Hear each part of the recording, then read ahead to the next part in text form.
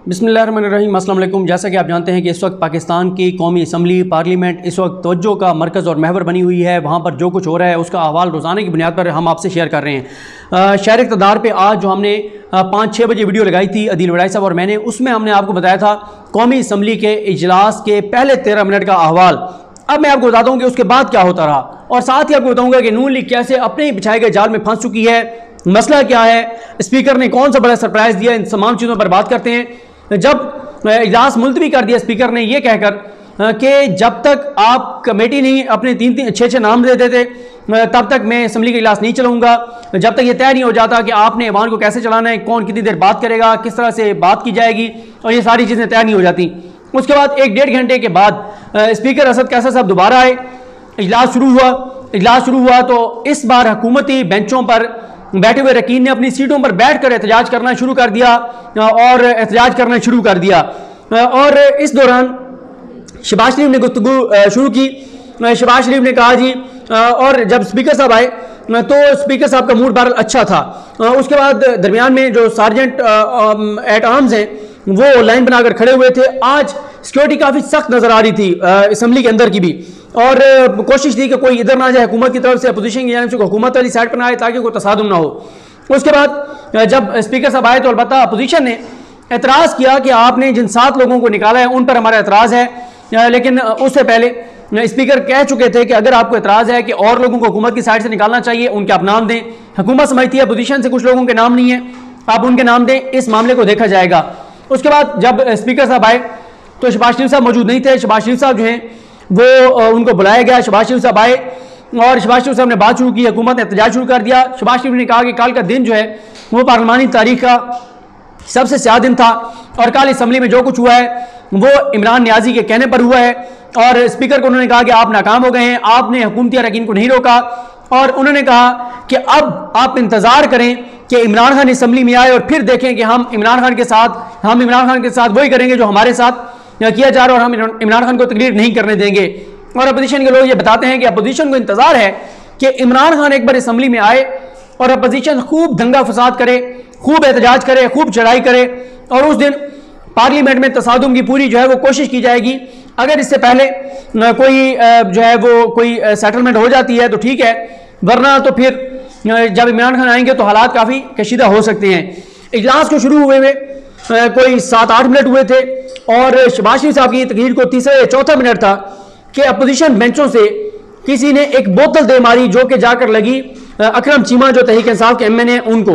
और उनके वीडियो भी देख चुके होंगे, और अभी वो वीडियो मुझे नहीं पता कि टिका खान सानी साहब ने अपने यूट्यूब चैनल पर अपलोड कर दी, या नहीं कर दी। टिका खान सानी साहब बड़े सीनियर रिपोर्टर हैं, तरीके साहब की बीट को साल साल से कवर कर रहे हैं। तो उन्होंने, अभी मुझे मिले एक जगह, उन्होंने अपने मोबाइल में मुझे वो वीडियो दिखाई, जो वो इंटरव्यू करके आए थे, अकरम चीमा का, कमल शोजफ का, शीरी मजारी साहबा, इन तमाम लोगों से, और आमिर डोगर साहब का भी उसमें शौर था सनौला मस्ती खेल और इन सब लोगों से। उसमें जो अकरम चीमा है, उन्होंने वाज अल्फाज में कहा है कि मुझे पता चलने दें कि कौन था मुझे ये बोतल मारने वाला, मैं उसको नहीं छोड़ूँगा। बड़ी सख्त उन्होंने धमकी दी है। और यही वजह है कि मैं मुसलसल ये बात कह रहा हूँ कि अगर हालात इन्होंने आपस में कोई ऐसी सेटलमेंट ना की कि वाहन को प्रमन तरीके से चलाया जाए तो कोई बड़ा नुकसान भी हो सकता है। इससे ज़्यादा भी कोई जख्मी हो सकता है। और पार्लियामेंट की ये लड़ाई, पार्लियामेंट का जो हॉल है, उससे बाहर भी आ सकती है। और इससे पहले आपने ये भी देखा अच्छा इस मौके पर जब ये बोतल लगी फिर स्पीकर ने कहा कि मैं जो है वो इजलास कल तक मुलतवी कर रहा हूँ। लेकिन फिर उन्होंने कहा कि उन्होंने फिर कहा कि नहीं, मैं फिर देखता हूँ। और उसके बाद स्पीकर तीसरी बार जो है वो आए। यानी दो बार मुतल हो चुका था इजलास। तीसरी बार आए और कल तक, कल 12 बजे तक इजलास मुलतवी करके वो चले गए। इससे पहले जो अली गौर हैं पी एम एल एन के, जिन्होंने वो नारे लगाए थे कुत्तों बिलों की सरकार नहीं चलेगी नहीं चलेगी अली गौर जो हैं उन्होंने आके जो गेट पर उनको रोका गया तो उन्होंने कहा, स्पीकर को पैगाम भेज दें कि अगर उन लोगों को ना निकाला गया जो हुकूमती वज़ीर थे तो फिर मैं भी और हम भी आएँगे। तो ये तो था, ये सारा मामला। इससे पहले जो पीटीआई की तरफ़ से जरताज गुल मुनजा हसन, मलिका बुहारी वो भी प्रेस कॉन्फ्रेंस कर चुकी थी। उन्होंने भी आगे सारा बताया कि नून लीग की एक तारीख है, गुंडागर्दी की दहशत गर्दी की। ये इन्होंने मॉडल टाउन में जो खवतिन के साथ किया, इन्होंने अदलिया पर हमला करवाया, ये सारी बातें। और आज मैं देख रहा था डॉक्टर जरका साहबा का भी ट्वीट देख रहा था, उन्होंने भी यही कहा कि जो मुस्लिम लीग नून है, इनकी एक तारीख है, इनका एक माजी है कि मॉडल टाउन में इन्होंने खवतिन को जबड़ों में गोलियाँ मारी। असम्बली में भी खवतिन पर हमले करते हैं। लेकिन वहीं पर हुकूमत ये भी ज़िम्मेदारी आती है कि इन्होंने मॉडल टाउन केस के वाले से क्या किया है। सत्रह जून शुरू हो चुका है और आप अंदाज़ा लगाएँ कि मॉडल टाउन को सात साल मुकम्मल हो चुके हैं और इमरान खान साहब के दौर में भी तीन साल होने को हैं। तीन साल में मॉडल टाउन के ऊपर कोई डेवलपमेंट कोई पेशरफ नहीं हुई कोई आ, मामला आगे नहीं बढ़ा। यही वजह है कि आज पाकिस्तान अवामी तरीक और मिनाजुल कुरान मुस्तफ़ी स्टूडेंट्स मूवमेंट उन तमाम उनके जो विंग हैं मिनाज यूथ लीग वो सब आज सड़कों पर होंगे एहतजाज करेंगे और आज से वो एहतजाजी तहरीक ऐलान करने जा रहे हैं। कुछ मामला अदालतों में हैं। वो तो अदालतों की ज़िम्मेदारी है लेकिन जो हुकूमत की साइड पर हैं उस पर भी उनके शिकवा है। और वो यही कहते हैं कि ये हुकूमत मॉडल उनका नाम तो लेती है लेकिन सामने मॉडल टाउन बर्पा करने वालों के केस को अगर आगे बढ़ाया जाए, कोशिश की जाए और उनको सजाएँ दी जाए कातलों को तो फिर पाकिस्तान में कोई इस तरह की दहशतगर्दी और गुंडागर्दी नहीं करेगी। इसके अलावा पीपल्स पार्टी जो है अभी तक उनका कोई वाज उस तरह से मौकफ नहीं आ रहा, जो स्पीकर के हवाले से जराए से खबरें चली कि अदम अतमाद ला रहे हैं, लेकिन वाज तौर पर अनाउंस नहीं किया।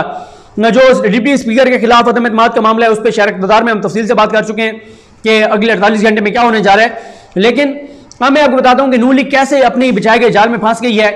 नू लीग ने राना तनवीर ने असद कैसर साहब को फ़ोन पर यह कहा कि आप एक कमेटी बनाएँ जो कमेटी तय करे कि ईवान को कैसे चलाना है।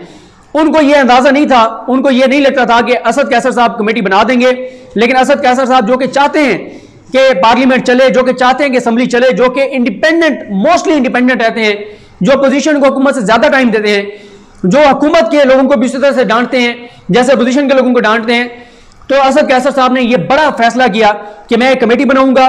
छह लोग इधर से होंगे, छह लोग उधर से होंगे। अपोजिशन और हुकूमत से ये बैठ के तय करेंगे, मामला तय करेंगे। एहतजाज नहीं होगा, दंगा फसाद नहीं होगा, बदतमीजी नहीं होगी, हाथापाई नहीं होगी, किताबें नहीं मारी जाएँगी अवान के तक उसको पामाल नहीं किया जाएगा। लेकिन सारी सूरत हाल में क्या हुआ कि वो मुस्लिम लीग नून, राना तमीर साहब जो खुद ये बात कह रहे थे, वो अब नून लीग पीछे हट गई है। और उसकी वजह वाजह है। उसकी वजह यही है जो कि नज़र आ रही है कि जो मरियम साहबा हैं, मरियम साहबा का कैंप नहीं चाहता कि ईमान चले। वो चाहते हैं तसादुम हो, वो चाहते हैं दंगा फसाद हो। और वो जो शबाज शरीफ और बिलावल ने फैसला किया है कि ईमान को चलाना है मामला आगे बढ़ाने हैं, मरियम साहबा के लोग उसी में मसाइल कर रहे हैं और मरियम नहीं चाहती कि हुकूमत के साथ इस कमेटी में बैठा जाए। यही वजह है कि शबाज शरीफ भी बेबस नज़र आते हैं और छह नाम अभी तक, जब तक मैं आपसे बात कर रहा हूँ, नहीं दिए जा सके।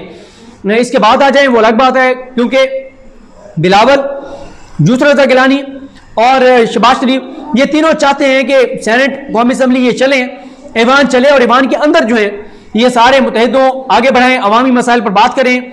लेकिन जो मरीम सभा का कैंप है, वो बिल्कुल नहीं चाहता कि ये मामला को आगे बढ़ाएँ।